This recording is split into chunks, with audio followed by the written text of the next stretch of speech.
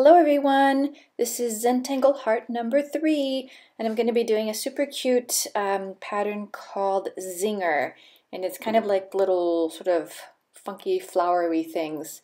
And I'll do a um, border around the bottom in a larger scale and then I will do the um, pattern itself uh, throughout the rest of the heart. And I think that you're really going to like it, it's super cute. So, but for this pattern, you just kind of, you're making just sort of concentric uh, round sort of donut shapes. And so we'll start with just a small one and then we make a couple of bigger ones and then we start getting small again.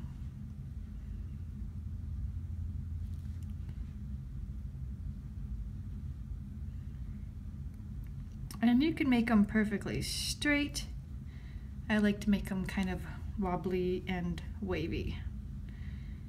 And here we go, make this one kind of go sideways.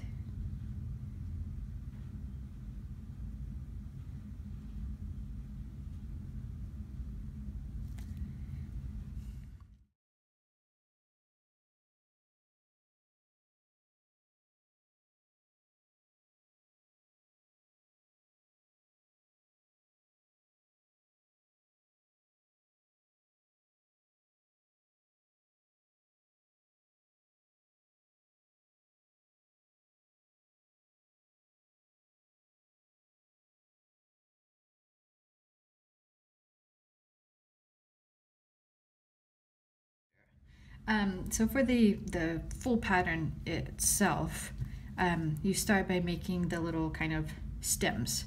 And you can make them stick straight, you can make them any way that you like. I like to kind of make them um, uh, kind of wiggly and, and wobbly. So we'll start and just make one like this. And then I'm going to make a second line so that they are a little bit thicker stems. And they don't need to be perfectly parallel. In fact, I think they look better when they're, you know, not parallel at all. It looks more natural. And we'll finish each flower before we move on to the next one so that we have a, you know, an idea of where placement is and, and everything. So when you attach the little zinger to the stem, you start with just like a little circle and then you make a bigger one and then you go smaller.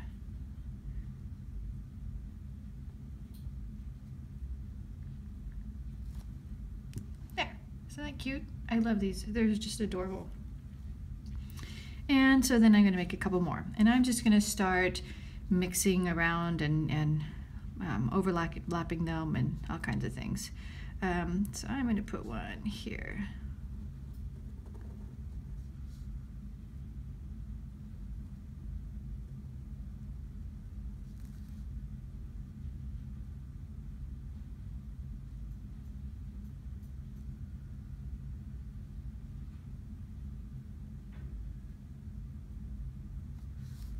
And the same with the little you know, sort of top of the flower, the zinger part itself. You can make them go absolutely straight up and down, like, you know, perfect little cones. Um, I like to give them a little personality by making them kind of wiggly.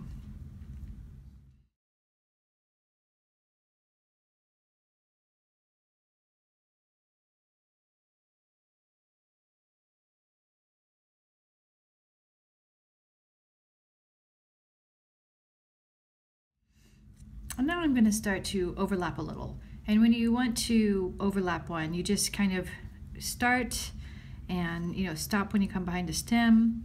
Uh, let's see, let's do one right here. So I'm going to make this come up. I'm going to stop on the other side. I'm just going to continue it. So this one looks like it's going behind the other one.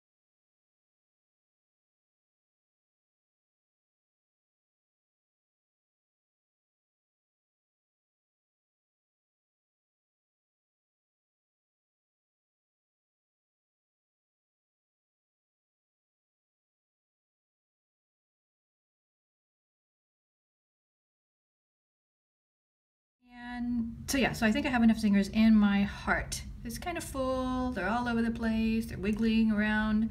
Um, I don't think I'm going to do anything else. I, I don't really don't think with um, this many zingers putting any kind of background would work. It's going to be way too um, busy. Could possibly put in partial pattern, like some little um, circles or something. Let's try that, just because I talked about it. And it might be kind of fun.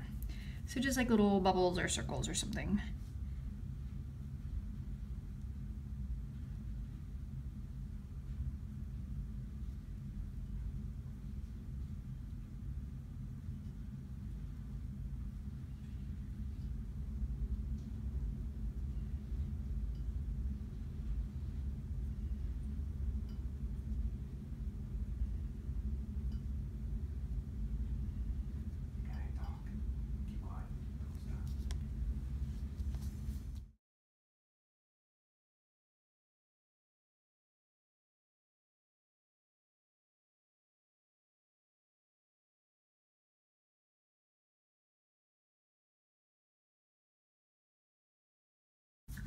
Okay, well, hmm, not so bad, but I think I kind of liked it better before.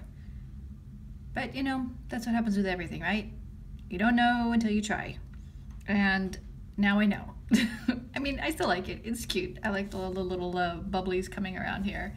And if we do some shading, it will really kind of, you know, because right now it's getting a little bit lost in here. Um, I think that's what I'm having a problem with. So if we do some shading, that should um, help, you know, define these shapes and uh, so it won't look so messy.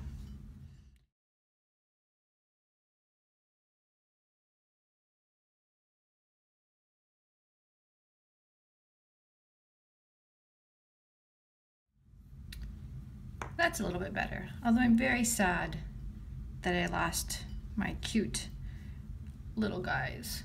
They were so cute. Now they're kind of lost in all the circles. But still, it's not so bad. Um, oh, you know what? And we can also just shade these zingers a little bit, right? Give them a nice 3D look.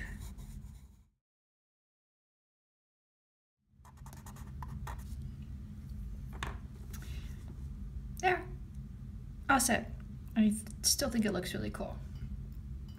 I wish I had to put the little circles in there, but you know, I did. And there it is. So, okay, this is the end of this um, heart Zentangle. I will definitely be doing at least one more, hopefully two, depending on, um, you know, how much time I have, which is kind of short.